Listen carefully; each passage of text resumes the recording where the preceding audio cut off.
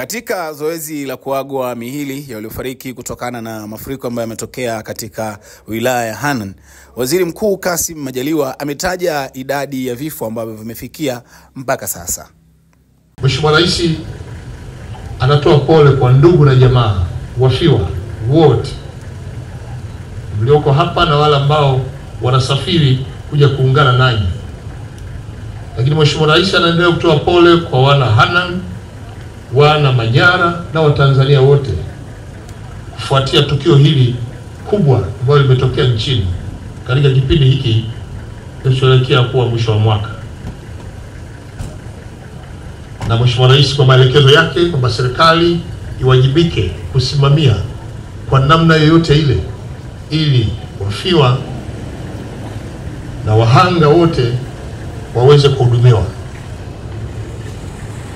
Leo nikiwa mbele yenu na sisi sote tukiwa mbele ya miili ya wenzetu tumepoteza ndugu zetu sitini na tatu.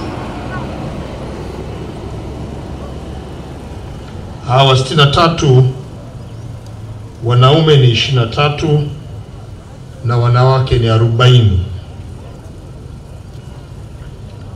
Kati ya hawa watu wazima kuanzia miaka kumi na nane kwenda juu wanawake, wanaume kumi na nne na wanawake ishirini na sita na wanafanya ile jumla ya watu wazima 40 na watoto wadogo chini ya miaka 18 wanaume tisa na wanawake 14 wanafanya jumla 23. Wote hawa 40 na hawa 23 wanafanya 63, ndio ambao wamelala mbele yetu.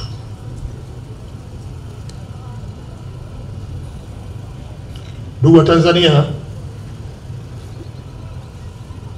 Kwenye madhara haya tumepata majeruhi pia wapatao mia moja na kumi na sita.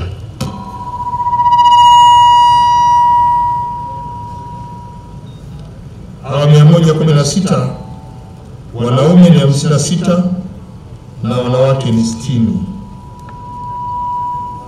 Kati yao watu wazima wako sitini na hao sitini wanaume ni ishirini na tisa wanawake ni 31 na watoto chini ya miaka 18 wako 66. Kati hao 66 wanaume ni 27 na wanawake ni 29. Ndugu wa Tanzania, haya maafa ni makubwa sana.